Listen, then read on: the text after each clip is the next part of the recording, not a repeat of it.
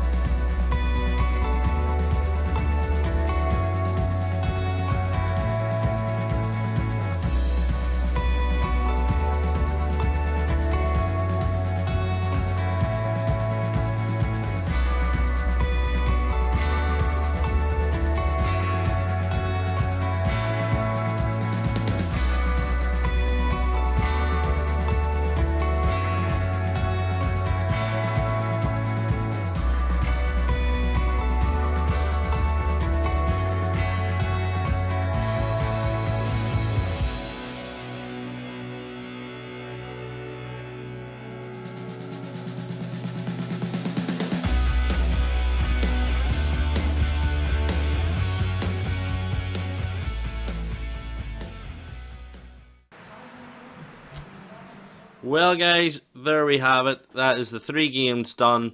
Uh, we got a giant killing anyway by beating Man United. Uh, brought back down to earth by Spurs losing 2 0.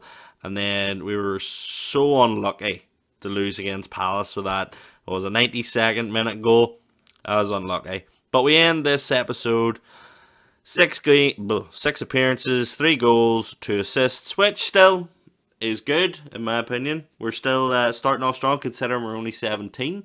So there you have it. You see the next game is against Watford, so that'll be an interesting one. We've got Watford, Villa, and Norwich on the Premier League. So yeah, that'll be interesting for sure. We'll see what comes up. Hopefully we can get at least six points out of the nine there. But don't forget, guys, as well, hit that subscribe if you're new and you like the content. We'll keep it coming.